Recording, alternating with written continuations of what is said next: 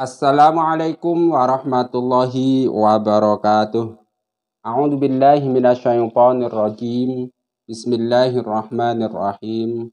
Alhamdulillahi rabbil alamin. Allahumma salli wa sallim ala sayyidina Muhammad wa ala ali sayyidina Muhammad. Amma ba'du.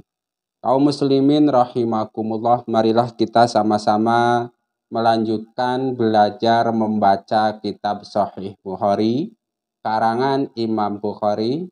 Kali ini kita sudah sampai pada kitab ketiga bab kelima yaitu babu tarhil imami al-mas'alata ala ashabihi liyakhtabira ma indahum minal ilmi yaitu bab seorang imam melontarkan pertanyaan kepada sahabat-sahabatnya untuk menguji tingkat keilmuan mereka. Jadi pada bab kali ini Imam Bukhari itu ingin menjelaskan kira-kira begini. Di sini tentu kata-katanya imam. Seorang guru bertanya kepada muridnya untuk mengetahui sudah seberapa paham sang murid terhadap materi-materi yang akan diajarkan atau materi yang sudah disampaikan. Satu. Bab ini akan menjelaskan bahwa salah satu metode pembelajaran adalah bertanya kepada orang yang kita ajar. Bertanya kepada mustami, bertanya kepada murid tujuannya apa? Tujuannya untuk mengetahui seberapa, seberapa dalam tingkat keilmuan murid kita itu. Kalau sudah dalam tentu kita tinggal menambah dalam lagi. Kalau masih cetek tentu kita harus istilahnya diagnosa lah kalau dalam menurut dokter. Kita diagnosa nih murid kita ilmunya sudah sampai mana, pemahaman tentang ilmu yang sudah kita sampaikan atau tentang ilmu yang akan kita sampaikan sudah sudah sejauh mana. Sehingga nanti ketika kita menambahi atau mengurangi itu akan lebih lebih akurat. Nah, untuk mendukung bab tersebut, Imam Bukhari menuliskan sebuah hadis yang di sini dikasih nomor 62. Saya bacakan saja Haddasana Khalid bin Makhlad, Haddasana Sulaiman, Haddasana Abdullah bin Dinar an Ibni Umar an Nabi sallallahu alaihi wasallam qala Inna minas sajarati sajaratan la yasqutu waraquha wa innaha masalul muslim. Hadithuni mahi Qala fawaqongan nasu fi syajaril bawadi. Qala Abdullah fawaqonga fi nafsi annahan nakhlah. Tuma qalu hadithna ma hiya ya Rasulullah? Qala hiya an-nakhlatu.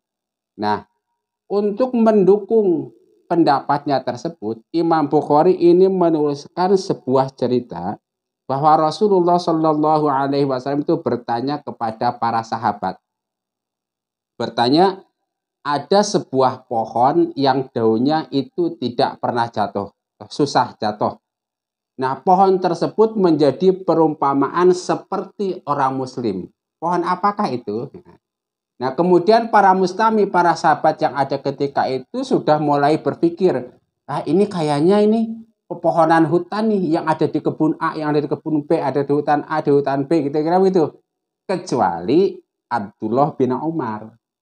Di pikiran Abdullah bin Umar ketika itu ada terbesit, ini kayaknya pohon kurma nih.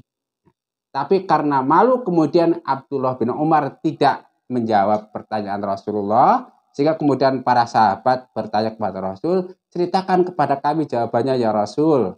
Maka kemudian Rasulullah Shallallahu Alaihi Wasallam menjawab bahwa pohon tersebut adalah pohon kur kurma. Jadi pohon kurma itu ibarat seorang muslim atau um, orang Islam itu seperti pohon kurma. Dalam hal apa? Dalam hal memberi manfaat. Dalam hal apa? Dalam hal keberkahan. Silahkan para pecinta tumbuh-tumbuhan tentu tahu pohon kurma merupakan salah satu pohon yang hampir semua bagiannya itu memberikan manfaat kepada kehidupan manusia. Begitupun seyogianya seorang muslim sejati, semua kehidupan dia itu memberikan manfaat bagi dirinya dan bagi orang lain, bagi dirinya dan bagi agamanya, bukan sebaliknya. Bahkan pada beberapa riwayat Rasulullah Shallallahu Alaihi Wasallam menegaskan bahwa seorang Muslim yang baik adalah Muslim yang orang lain merasa selamat dari kita. Misalnya, kalau kita berada di suatu daerah, orang lain itu merasa senang, merasa aman dengan keberadaan kita, bukan sebaliknya.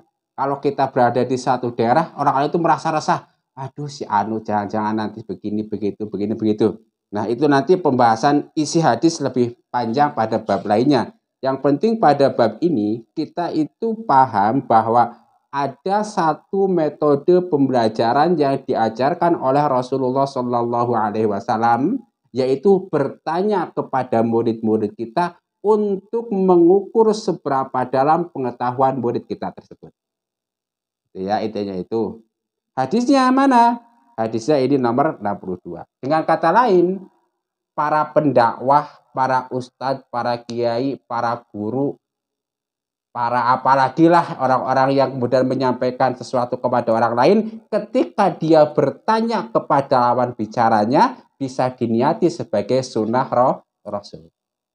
Jadi ini mana? Ini. Nah, jadi nanti kalau guru bertanya pada murid, wah sunnah rasul ini. Kalau ustadz bertanya kepada santrinya, wah sunnah rasul ini. Gitu. Kalau pemimpin bertanya kepada anak buahnya, wah sunnah rasul ini. Dengan tujuan baik tadi itu, mengetahui seberapa dalam ilmu murid-murid kita. Supaya apa? Supaya nanti ketika mau menambahin nggak kebanyakan. Ketika kita sebagai guru mau mengurangin juga tidak kebanyak tidak kebanyakan.